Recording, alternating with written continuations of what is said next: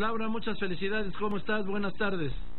Hola Joaquín, muy buenas tardes a ti y al auditorio. Mucho gusto de saludarte. ¿Ya te recuperaste de toda la tensión? pues no, la verdad es que es que o sea, sí fue por supuesto un proceso muy complicado y luego pues ya cuando se dio la votación pues mucha emoción.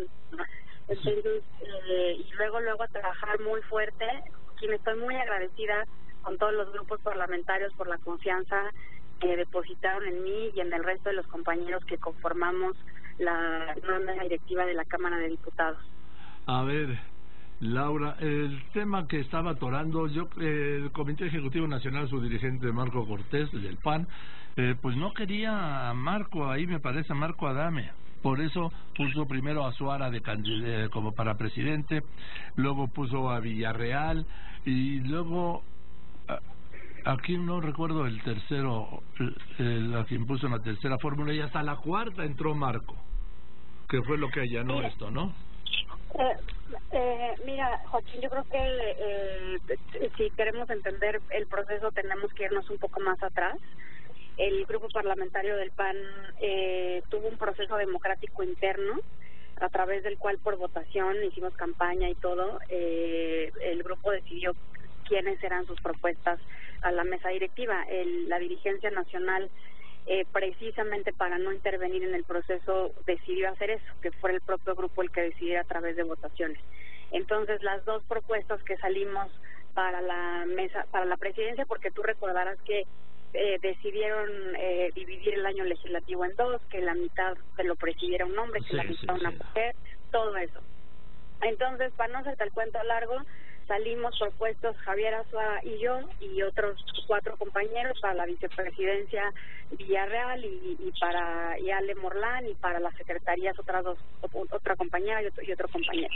Y entonces esa fue la propuesta de saque del grupo parlamentario del Partido Acción Nacional con con y por eso es que estuvimos porque teníamos una obligación como grupo parlamentario con los compañeros de proponerlos porque eran los que habían salido electos.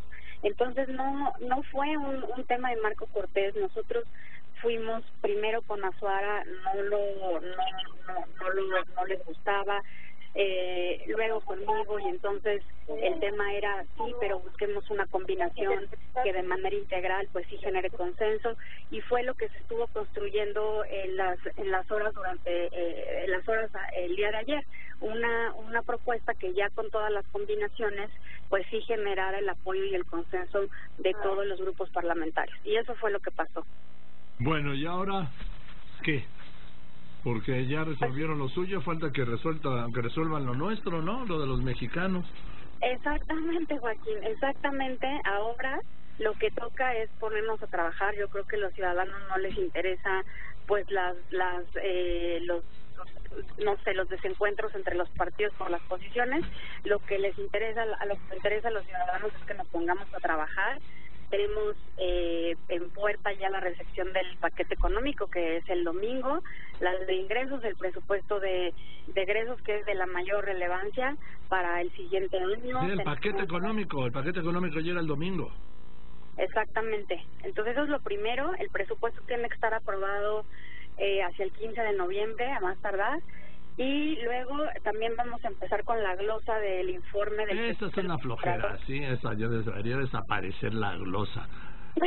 Sí, hombre. Pues, pues yo, bueno, creo que siempre ayuda a tener un, un, un encuentro, un diálogo con los funcionarios del Bueno, sí, tengan el diálogo.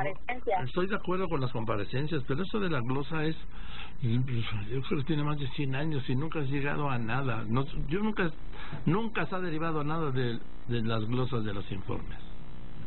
bueno, pues yo creo que hay una ah, creo que hay una área de oportunidad para para mejorar el proceso y que y que y que pueda resultar en en algo más positivo, pero siempre es importante que los funcionarios vayan al foro ah, pues eso, eso pues, a rendir cuentas. Eso por supuesto, a es ver. que eso es parte de la glosa, Joaquín, justamente, o sea, se, la glosa se desahoga a través de las comparecencias de los funcionarios en el Pleno.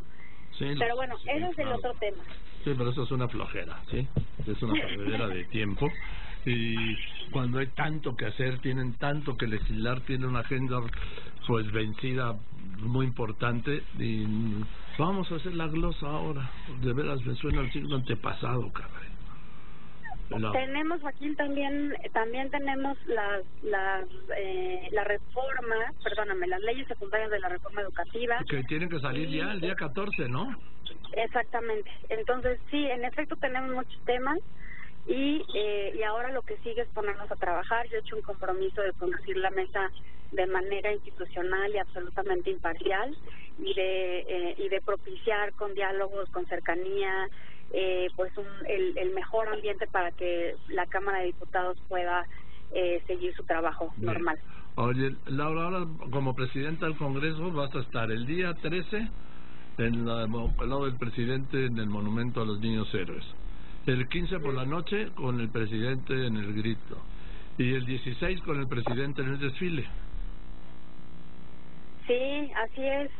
Mira, la verdad es que yo yo sí quiero reconocer públicamente al presidente de la República pues su, su convicción democrática porque la verdad es que él ayudó mucho en este en este proceso, ¿no? Para ah, ¿cómo no? Se calificó de que primero les dijo que no retorcieran la ley, dijo que era una vergüenza lo que estaba pasando ahí. Sí, él, la verdad es que él contribuyó muchísimo a que se a que se mantuviera la ley vigente para esta legislatura, que se respetara el derecho a Acción Nacional de presidir en este año y al PRI de presidir en el tercer año de la legislatura. Entonces, yo le quiero hacer un reconocimiento públicamente y espero podérselo poderlo hacer en persona en cuanto nos encontremos en alguno de estos actos republicanos. Ah, pues el día 13, el día 13. Sí, y la verdad es que con el, con el mejor ánimo de, de, de colaborar institucionalmente entre poderes, porque pues yo soy la presidenta del Congreso de la Unión, él es el presidente del Poder Ejecutivo y junto con el Poder Judicial tenemos que colaborar entre todos para solucionar los problemas de los mexicanos. Laura, pues muchas gracias, te felicito y ya estaremos en contacto este año. Muchísimas gracias, Joaquín. Un abrazo. Que estés muy bien, la diputada Laura Rojas, nueva presidenta de la Cámara de Diputados.